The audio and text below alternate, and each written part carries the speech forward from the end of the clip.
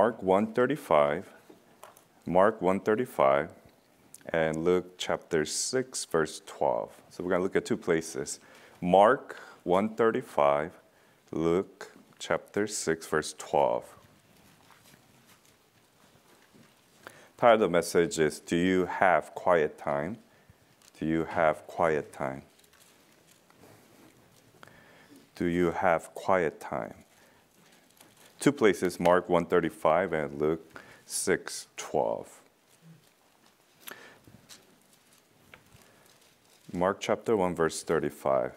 And in the morning, rising up a great while before day, he went out and departed into a solitary place and there prayed. Luke chapter 6, verse 12. And it came to pass in those days that he went out into a mountain to pray and continued all night in prayer to God. Brother Calvin, can you please pray for the message? Dear Heavenly Father, in Jesus' name, we thank you for this morning that we get to come here, worship you, praise you, Lord and learn the scriptures, Lord. And I just uh, thank you for the King James Bible. Thank you for dispensationalism. And thank you for Bible-believing pastors and preachers, Lord. And I just pray at this moment you fill Pastor Jae with your Holy Spirit, Lord. Amen. Give him the words. Use them greatly, Lord. Help him to preach with power, conviction, and with liberty, Lord. Yes. And may we learn what you want us to learn and apply that to our lives. In Jesus' name we pray. Amen. Amen.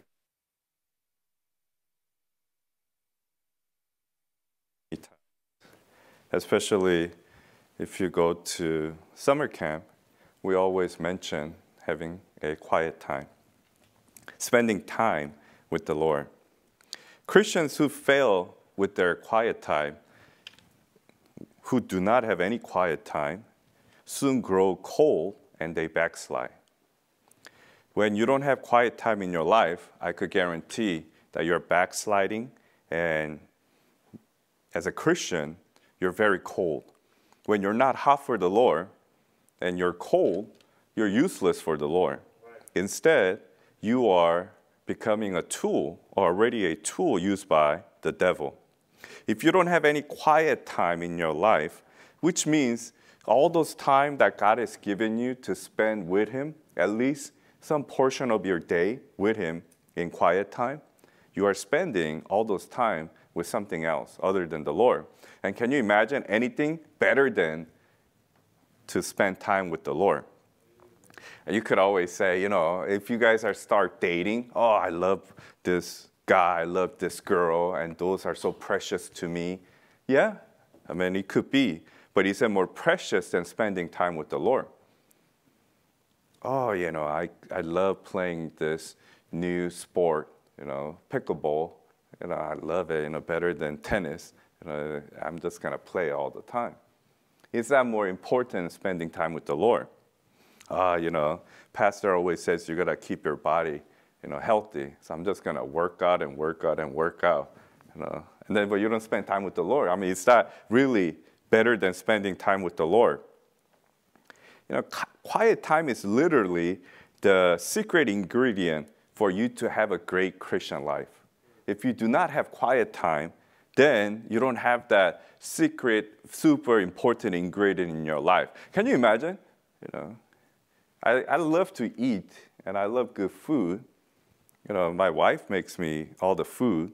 And if she were to miss special ingredient and say something, you know, soup that she makes, it's not gonna taste as good with having that ingredient. For example, if that dish needs salt, but you don't have salt, is it going to taste as good? No, it's not. If that dish needs meat, but if you don't have meat, it's not going to taste good. Same thing, as a Christian, if you do not have quiet time every day, it's a daily activity, it's daily time. If you don't do it on a daily basis, then it's going to make you become cold and you are, you are backslidden. Now, let's just admit it. I mean, including myself, right? If you are cold, if you're backslidden, that means you don't have quiet time. Because quiet time is that time which will help you reflect your Christian walk with the Lord, help you go back and see all the wrongs that you've done. It's time for you to confess your sins. And people say, you know, I just don't know how to, because you don't spend time with the Lord. And some people say, I don't even remember what to, you know, confess my sins about. Hey, spend time with the Lord. Holy Spirit will help you remember certain things. You ask the Holy Spirit to, you know, remember, remember certain things. Because, you know, just on the topic of confessing sins, it can't be generalization. You can't be like, Lord, I'm so sorry for every sin that I've committed since I got saved until now. It doesn't work like that, right? There's no sincerity in anything. I mean, can you imagine? You know, you're a married couple, and then say you guys had a huge fight and you done wrong to each other, said some hurt, hurtful things, and know, a lot of guys probably don't want to go into any detail, right? You don't want that deep talk, deep conversation. You're like, okay, honey, you know, I'm sorry for everything that I ever said to you.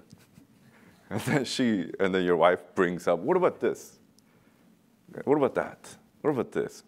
I don't care about your, you know, being sorry about everything. I just want you to make sure that you're sorry about certain things so that you don't make the same mistake again.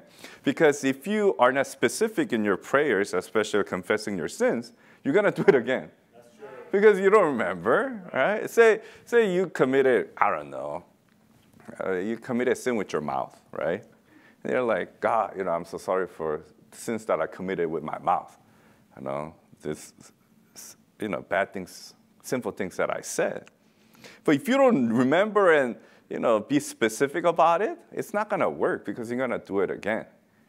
That's why when it comes to confessing sins, you know, just be very specific about it.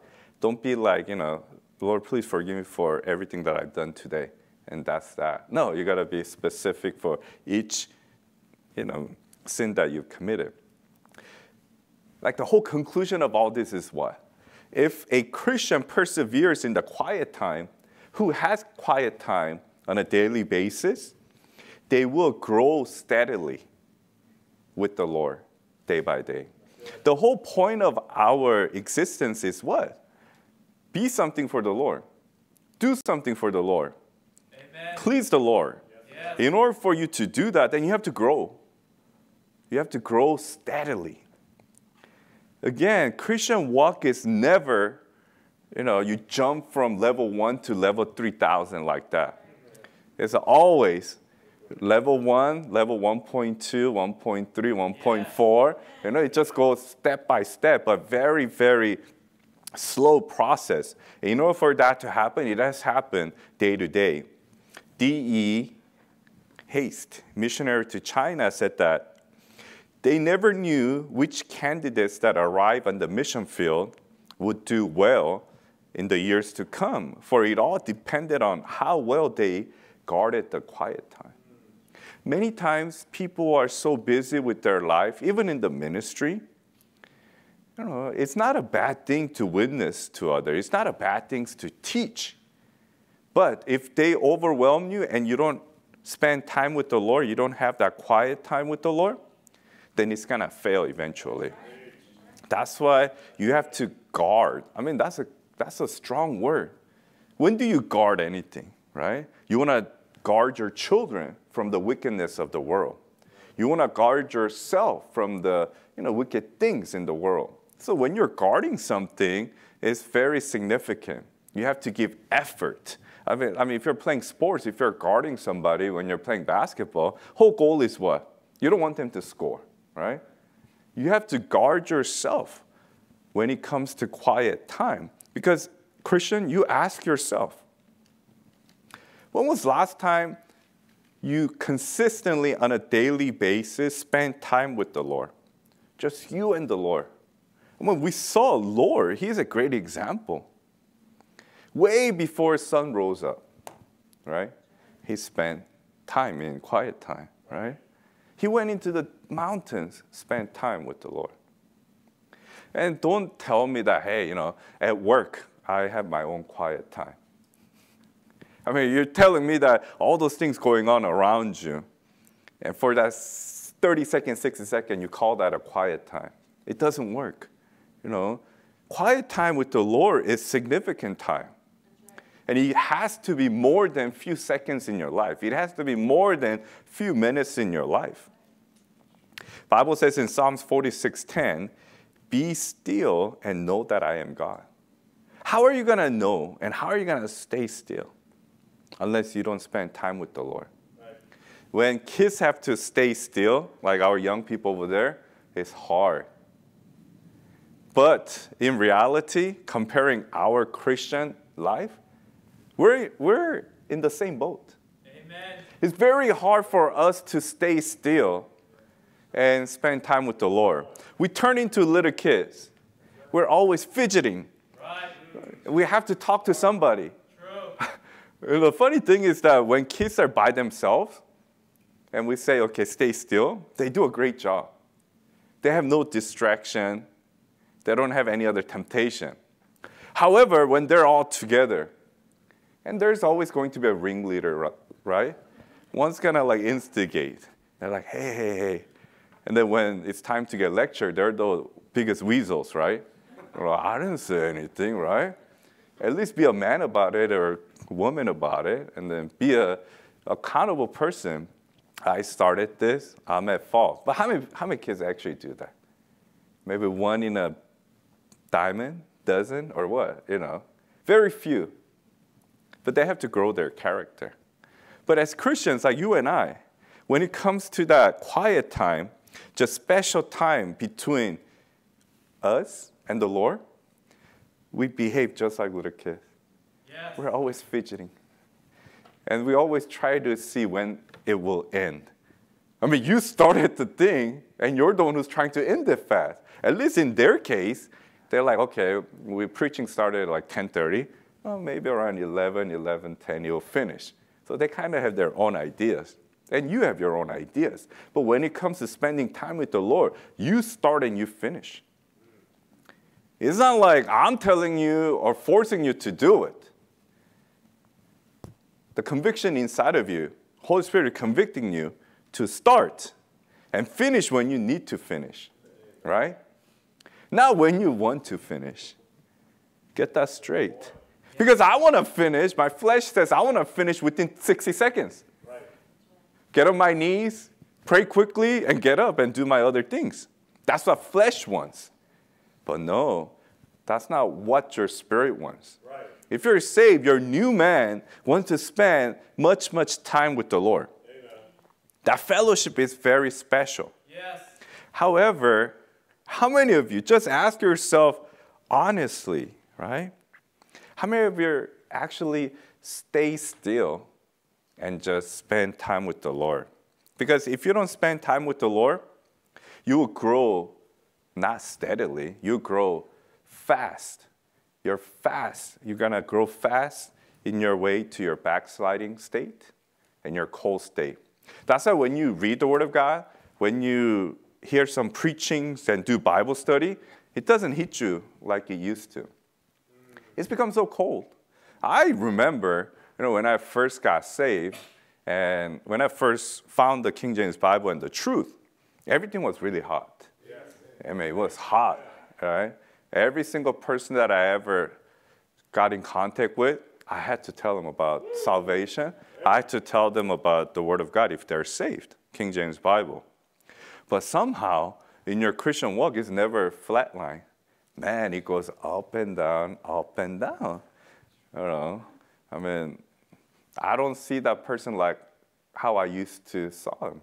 You know, they're lost souls, or you know, even Christians. They need the truth. I'm like, okay, you reject the truth. You know, it's on you. Well, you lose that. Why? Because I lost that quiet time. You know, I missed that quiet time. I don't have that quiet time like in the past. Then what's going to happen? You become cold and you become backslidden. You ask yourself, everybody here and who's listening, is your heart cold? Or do you feel like you're in backslidden state? Yeah, there's a solution. You need to have quiet time. See? So when it comes to, so we know the definition of quiet time, right? Now, it's that special time between you and the Lord. That is the definition of quiet time.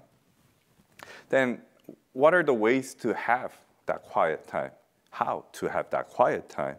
You know, number one thing is that you have to spend time in the Word of God. You have to spend time in the Word of God. I mean, you have to read the Word of God, you have to study the Word of God.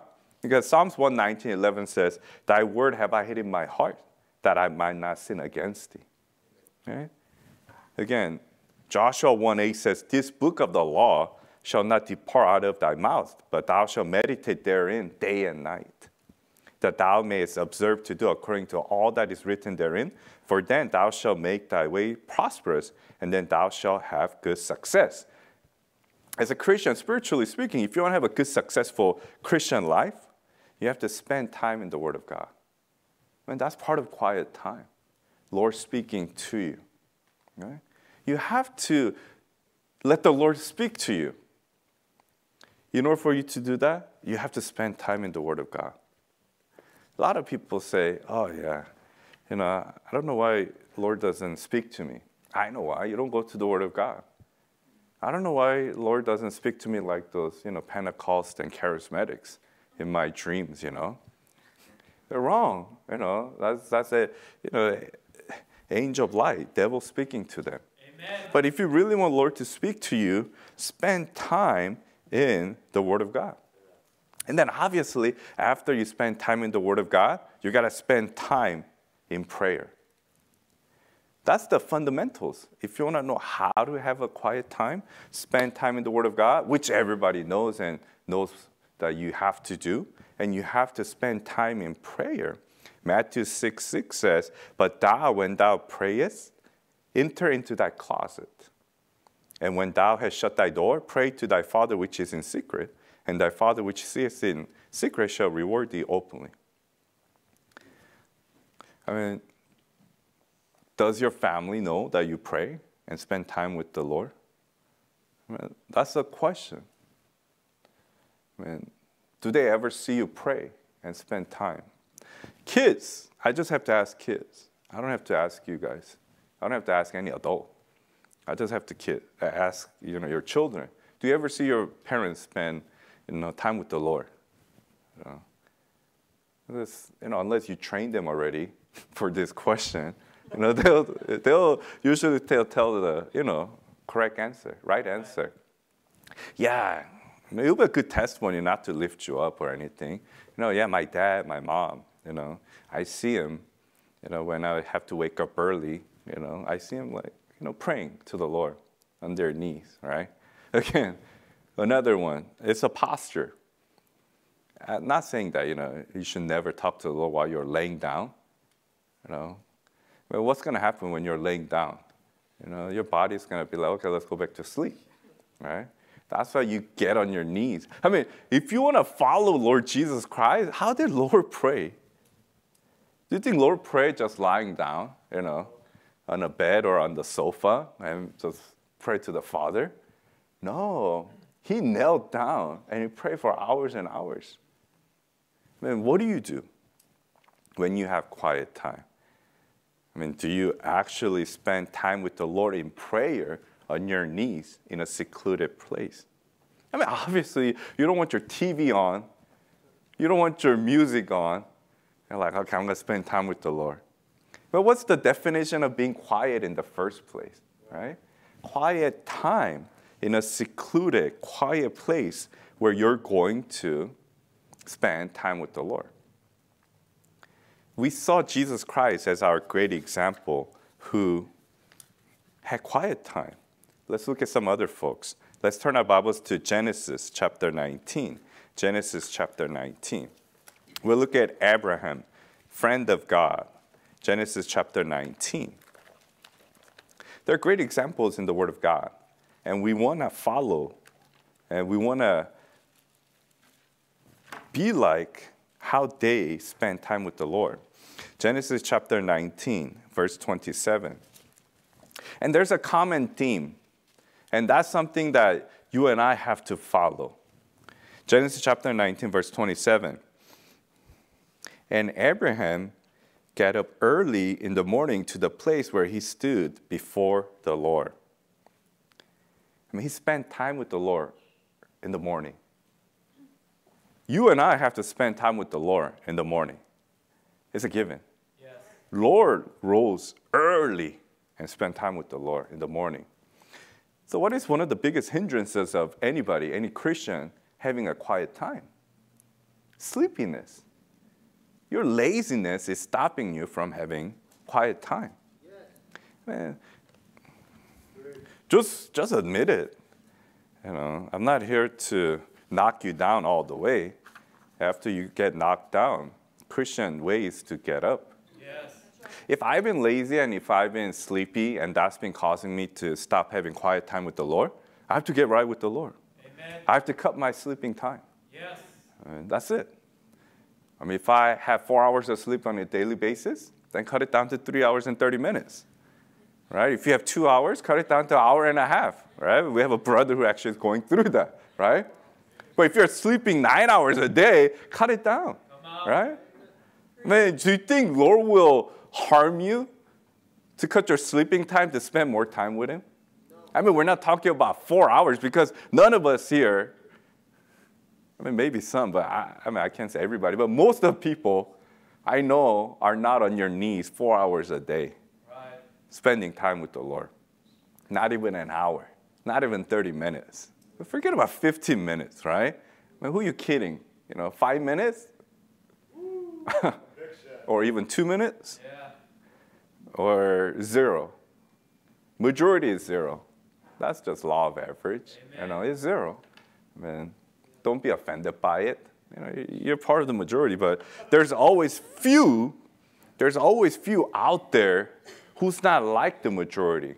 And those few are the ones that God uses. Those few are the ones that who have right relations with the Lord. Those few are the ones that when I ask, or if you were to ask, do you have quiet time?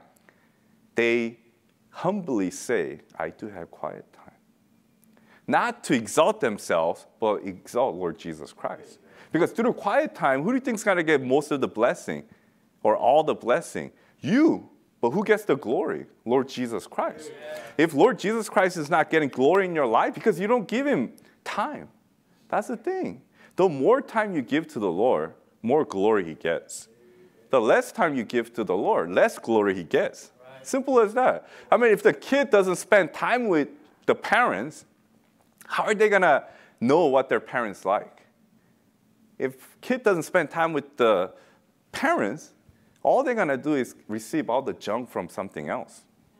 That's why, you know, when our kids go to public school or outside, you know, have some interaction with the worldly stuff, they bring all the junk in they get polluted by those things. Yes. How are they going to get rid of it? Then, as parents, you have to get rid of it. How do you think Lord's going to get rid of those things for us? By spending time with Him. Yes. And again, two things requiring, right? Studying the Word of God and spending time with Him.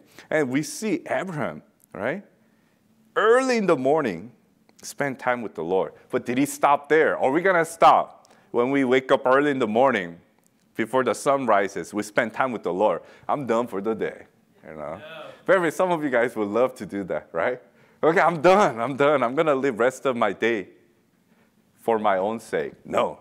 Let's go to Genesis chapter 26. Genesis chapter 26. You know, Abraham is a great example. You know, Genesis chapter 26, verse 24.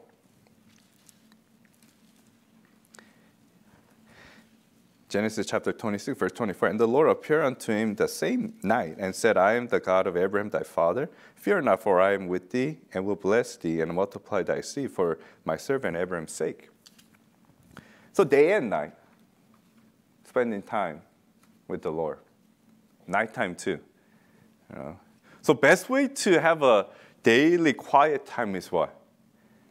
Early in the morning and nighttime before you sleep right? Yes. It's something that's lacking in 99.9% of Christians this day and age. Yes. Simple as that. Because there's too much pressure in your life from your flesh, from the world, and the devil. Right. And because you cannot resist those pressures and temptations, you don't spend time with the Lord. But is that a good excuse? there's never a good excuse no. spending time with the Lord. So if you have been using excuses like that to tell the Lord, Lord, my body is too tired, my mind is too weary, uh, I'm just, I can't do it. The Lord's gonna be like, you know what? I died for you on the cross, shedding precious blood. I prayed all night, right? Sweat drops of blood came down. How many of you ever prayed until sweat drops of blood came out of your pores? I mean, were you that serious? I mean, that's really, really praying hard. But Lord prayed that hard so that you and I can have salvation, so that He could drink that cup, right? Cup of sin for the entire world. Yes. And He did that for you and I. Then why can't you and I try to do it even a little bit in our life? That's good. Again, each person just, you know, it's different. However, you know yourself when you give it your all. If giving at all in the morning is 15, 20 minutes, that's a good start. Because if you never, if you never woke up before six o'clock in the morning, and then you try to start, and it's gonna be very hard. Your body's not used to it. But your job as a Christian is not to let your flesh lead you. You have to lead the flesh. Yes. You have to. Amen. I mean, flesh goes, hey, let's get extra minutes of sleep. You tell them no. Yeah. Like, no. I mean, you're dead already. Why is that thing telling me what to do? Can you imagine if there was a John Doe in the cemetery and then you're getting instruction from John Doe? Hey, you know, I want you to do this and that. But that's not how you live your life. You live your life by understanding and getting orders and doing things for the living things. Then, if your flesh says otherwise, you have to resist that flesh. Then, you know, Abraham spent time with God morning and night. And also, he actually had a special place to talk to God. You need to have that place. You, know, you have to have a habit. You have to make that part of your life. Let's turn our Bibles to Genesis 13, 4. We're still looking at example of Abraham. Genesis 13, Genesis 13. Genesis 13, 4 unto the place of the altar which he had made there at the first, and there Abram called on the name of the Lord. You need to have a special place in your life to talk to the Lord. You know, I mean, people say, "Oh, isn't that becoming too rigid?" You know, you're almost turning into, you know, traditional people. No, no, it's different. You need to have a special place that you go to, at home somewhere, right? I mean, if you have a acres and acres of land, hey, you're blessed. Go somewhere in the, you know, land somewhere and spend time with the Lord. You have to have a place where you spend time with the Lord. Of course, you talk to the Lord anywhere, but when you're having quiet time, whether it's next to your bed, you know, in the closet, you know, somewhere in your home, you have to spend time with the Lord. It's like people, when you go to school, you have a pattern, right? I wake up a certain time and I have to go to the bus stop if you take school bus. Or, you know, if you're going out with your parents drop you off, you know, you get into the car, you know, by eight o'clock and then parents drive off, drive you off to your school. Or school bus picks you up. You have to have that special place to talk to the Lord, you know. And it becomes second nature for you. And it's not you doing it just out of habit. And then you're going to get closer and closer to the Lord. And you can't wait for the time to talk to the Lord. Literally. I mean, there is a time every day you talk to the Lord, but that special time you call quiet time, man, you could really pour out your heart to the Lord and you pray. That's why prayer warriors like George Mueller, they just pray for hours, right? I mean, Daniel just prayed and prayed and prayed. Do you think it just came out of nowhere? It doesn't.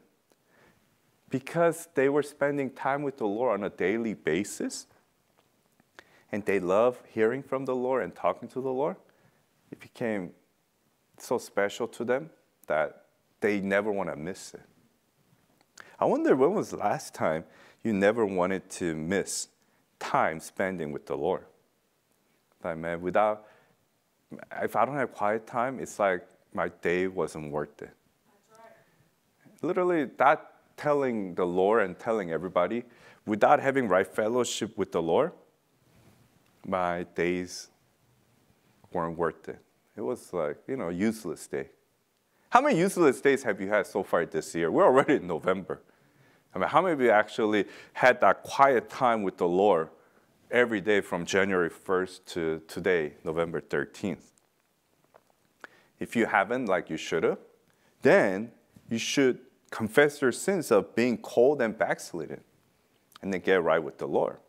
And this should be the start of every day upcoming until the Lord comes back. Having that quiet time on a daily basis. So we have a great example of David. We have another great example. We have David. I mean, I said, oh, we have a great example of Abraham. Next example is David. Let's go to Psalms, Psalms 5, Psalms 5, Psalms 5. So God has put all these men of God as example for us. And we always talk about Abraham prosperity. No, there's much more to Abraham than prosperity and getting blessed. He spent time with the Lord. And David as well. Psalms 5. Psalms 5. We're going to look at verse 3. Psalms 5. Psalms 5, verse 3. My voice shalt thou hear in the morning, O Lord. In the morning will I direct my prayer unto thee and will look up. Psalms 42. Psalms 42. We have a theme here. So, man, these forefathers of faith, they're spending time with the Lord in the morning for sure. But is that all? Psalms 42, verse 8. Psalms 42, verse 8. Yet the Lord will command his loving kindness in the daytime and in the night. His song shall be with me, and my prayer unto the God of my life. He spent time with God in the morning and at night as well. David, man after God's own heart. You and I have to spend time with the Lord in the morning and at night, and everything in between. That tells you where your spiritual state is at. You don't have to go too far, right? You could just ask, you know, how much quiet time do you have? I mean, do you even have quiet time, frankly speaking? So David spent morning and night with the Lord. Not only that, you know, what helped him with his quiet time? He memorized scriptures. You have to start memorizing scriptures. You know, it will help you from sinning. It will keep you encouragement. It will keep you going. Amen. I mean, that's what David did. I mean, Psalms 119, 11, again, what said, Thy word have I hid in my heart that I might not sin against thee. He meditated in the word of God. Right? So throughout the day, wouldn't it be great if you meditate in the Word of God? And then during the quiet time, you share with the Lord. Hey, Lord, you know, I was meditating in this verse today, what you said, and what the Bible says. And then you start having conversation. People say, I don't know what to pray because you don't read the Word of God. So you don't know what to pray. You don't know the subject. You don't know the text. You don't know anything. If you're learning about U.S. history, know, bless our veterans. Past week, you know, you know, Veterans Day. If you don't know anything about veterans, how are you going to talk to veterans about veterans? If you don't know any history, if you don't know, if you don't even know what that means, if you don't know what veteran is in the first place, that's almost like same thing. You're going to the Lord. Lord, let's have a conversation. You don't know anything about him. You don't know what He said. You don't know what He wants you to know, right? So you have to meditate in the Word of God. You know, if you are fond of someone, if you like someone, you want to get to know more about that person, right? And when you have conversation, what do you think they want to listen to and hear? About themselves. Sweetest name, I mean, sweetest word for any human being is their own name. It is about themselves. If you do that with normal human beings in your life, don't you think you should do that with the Lord Jesus Christ? Who's more and more and more special than anything in the whole world? I mean, first of all, He's inside of you, He saved you from hell. And He's the greatest friend ever. I mean, what a friend we have in Jesus. He's not only your Lord and Savior, He's also your friend. I mean, if He was that special to you, you probably want to know more about Him, or you've gotten to know more about Him. That's why when someone says certain passage from the Word of God, and you have no idea about it, you know, if you're a new Christian, you're growing, that's, hey, hey, learn, right? Study. But if you've been a Christian for a long time because you neglected the Word of God, shame on you, right? They're talking about Sermon on the Mount. Goes, oh, what is that? They're talking about tribulation, rapture, you know, Old Testament prophets, you know, even stories of Bible stories, right? In the Old Testament. You're like, oh, what is that? I mean, as a Christian, it's not something you should be proud of. I've been going to church for 15 years. Go, oh, yeah, yeah, yeah. You know, uh, what do you think about that story about Joshua? You know, who's Joshua? I'm like, oh, yeah. You remember Caleb? Or Caleb Park at our church? I mean, and then you start going, well, yeah, hey, Bartholomew, you know, Barnabas, right? Who? Barnabas? You know, banana, right? when that's the type of reaction and the things that average Christian, I'm talking about average Bible believing Christian displays. Why? Because they don't have quiet time. You don't have quiet time. And quiet time constitutes everything studying the Word of God, praying, memorizing, and it becomes your morning and nighttime special place. I think if you were to take it seriously, you look forward to your quiet time on a daily basis. It's, some, it's that special time where I can spend time with the Lord, where I could actually have a great conversation, deep conversation. And I'm, I always you know, compare it with the person that you love. Don't you love it after a long day of work? Just you and your loved one, and spend time talking about what has gone throughout the day. Maybe you had a hard day. You know, coworkers were no good. You know, customers were no good. Your boss was, you know, giving you a hard time. Or you have a great thing to say. You know, we had a great time at work, you know, good customers, good boss, or whatnot. And then you have conversation, and then you guys grow together, you know, husband, wife, or whatnot. Why is that never happening in your Christian life with the Lord Jesus Christ? I mean, He already knows everything that's going on in your life. Mind you, He's God. But do you ever talk to Him about it? I mean, He's always there. As they say, He never moves. He's always there. It's us who's always moving away from Him, try to avoid Him. Then you have to get right with the Lord and make sure, make a commitment in your heart not in your brain, because your brain will deceive you, as you know. But your heart has to commit to the Lord. Lord, I've neglected this quiet time all these years. I don't even remember when I had a you know, very special time with you on a daily basis. I confess my sins. I want to get right, Lord God. I want to get out of this cold and backslidden Christian state. I want to spend more time with you morning and night. You know, devil, the flesh, and the world's going to try to stop me, Lord. Please help me. Yes. Again, you can't do it on your own. Man, I can do all things through Christ, which strengthens me. You got to rely on the Lord. Amen. But your heart has to be willing and start putting it into action.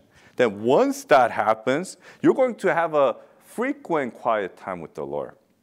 Literally, you know, it's going to be frequent. It might be morning, day, and night, like Daniel and like David.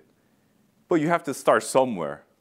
You know, don't overdo it either. Don't have a too high expectation of yourself. Okay? It's like someone who says, you know, I'm going to read through the Word of God.